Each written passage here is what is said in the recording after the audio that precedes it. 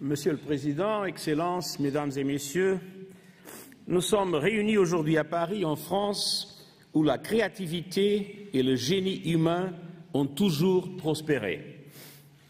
C'est ici même, en 1805, que le télégraphe mécanique a été utilisé pour la première fois.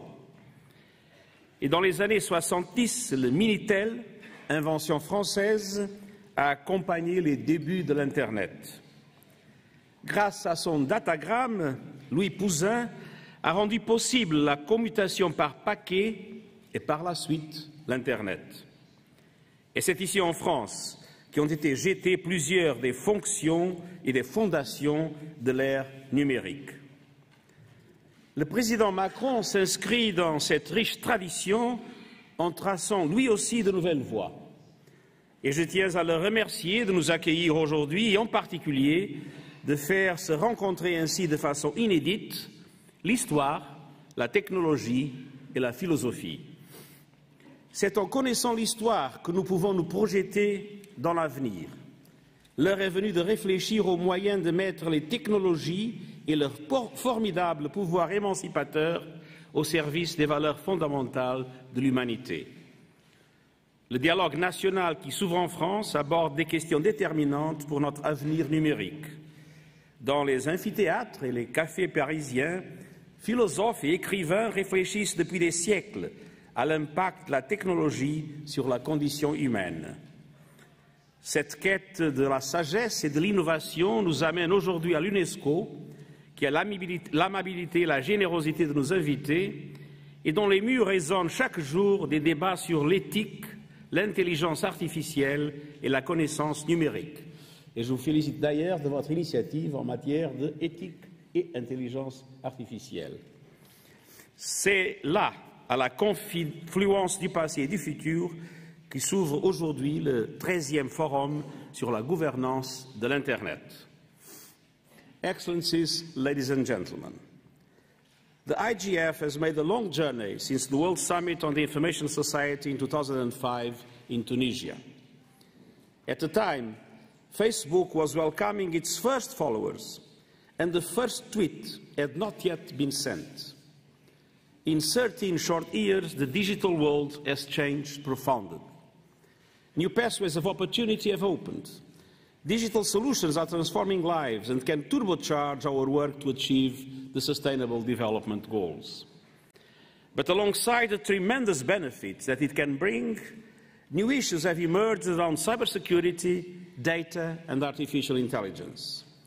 We see the Internet being used as a platform for hate speech, for repression, censorship and control.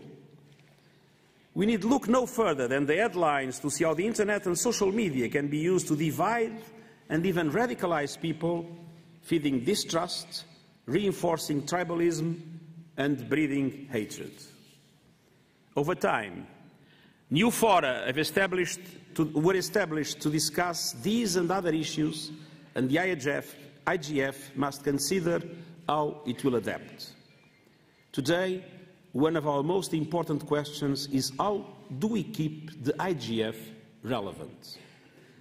The good news is that France, this year's host, and Germany, next year's host, are investing a lot of time, energy and planning into the IGF. And I'm particularly pleased to learn that the UN High-Level Panel on Digital Cooperation, which I launched in July, is working closely with the IGF. These discussions will reflect on the ways that digital cooperation can be improved. As you discuss how to enhance the relevance of the IGF, I would like to make a few suggestions that I've also proposed to the high-level panel. First, we must be more than multi-stakeholder we must also be multidisciplinary. Cooperation among actors in the digital space has not kept pace with new technologies. Digital technologies are transversal, yet discussions are still siloed. For example, data is addressed across policy spaces from technology, economic, human rights, standardization, and jurisdiction viewpoints. The more silos there are, the higher is the risk for conflicting and suboptimal policies for industries, for governments, and for users. When you discuss data and artificial intelligence, you might want to invite philosophers to consider ethics. You might want to bring in anthropologists and other specialists who are not typically included in technological gatherings. When you discuss social media, you need to include political and social scientists. We need the wide range of expertise, experience, and ideas to strike the right policy balances. For example, to find the right interplay between protection of privacy and security. Second, we need to create shared language and references. I ask you, as I ask the panel, to inspire new thinking and language on digital cooperation. Create shared references, propose new approaches, and look for possible ways to reframe existing problems, be them in trade, security, or human rights. We need, we need, to make sure that the most competent fora are dealing with the most consequential questions and that they can benefit from cross-cutting resources. The answers to these questions should wave stories of digital cooperation from around the world into a global narrative. Third, you will need a dedicated effort to include and amplify the weak and the missing voices. A great strength of the IGF is its multi-stakeholder approach, but I urge your digital discussions to move beyond the so-called usual suspects. Digital growth affects everyone, and traditionally unheard and marginalized voices should be more visibly involved in the IGF's work. Reach out to local communities that have many fascinating stories and insights on leveraging digital technology for business and inclusion. Get stories from people with disabilities who are among the most creative users of digital technology. And spare no effort to bring in the voices of women who have been underrepresented both at the design and end-use level and subject to deep gender gaps in access to digital technologies.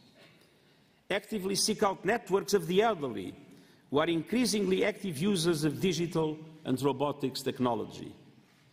For youth, the digital econo economy is transforming the labour market, creating new jobs while simultaneously destroying old ones. How do we support a culture and education system that encourages lifelong learning?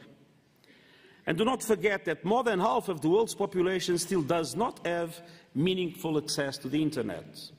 How can the IGF help to bridge this digital divide both between and within countries?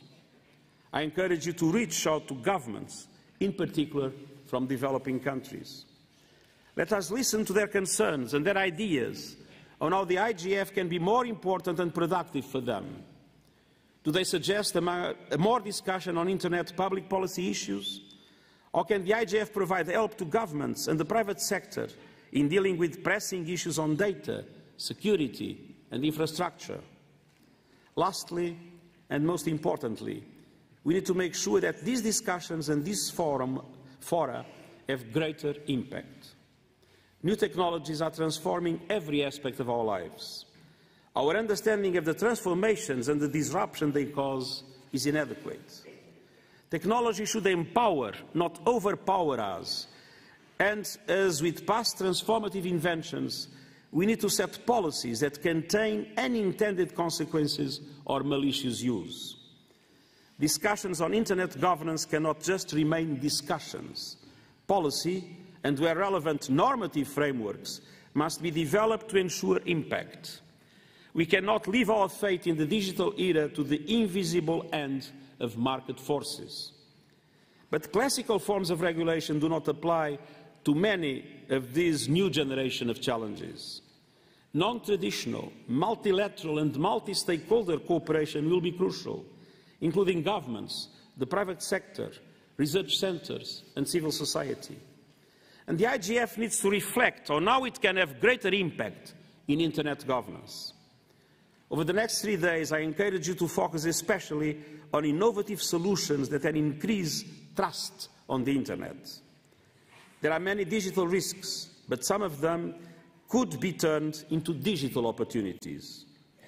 You have the support of United Nations Department of Economic and Social Affairs and from a wide community of regional and national IGFs. You also have support from your multi-stakeholder advisory group. I want to congratulate you on having full gender parity on the MAG this year and for the diverse age and geographic representation you have been able to achieve. The World Summit on the Information Society provisions that established the IGF provide us with enough space to improve current mechanisms. It is important to gather and consider the proposals that have been advanced about strengthening the IGF. In addition, discussions with the high-level panel on digital cooperation can generate new ideas. Make the most of this unique opportunity. When it comes to governance, we must be as creative, as bold as those who first built the Internet. You can count on my support in this journey towards a prosperous, safe and fair digital future. And most of all, know that you are making a difference. And I wish you a very successful Internet Governance Forum. Thank you very much.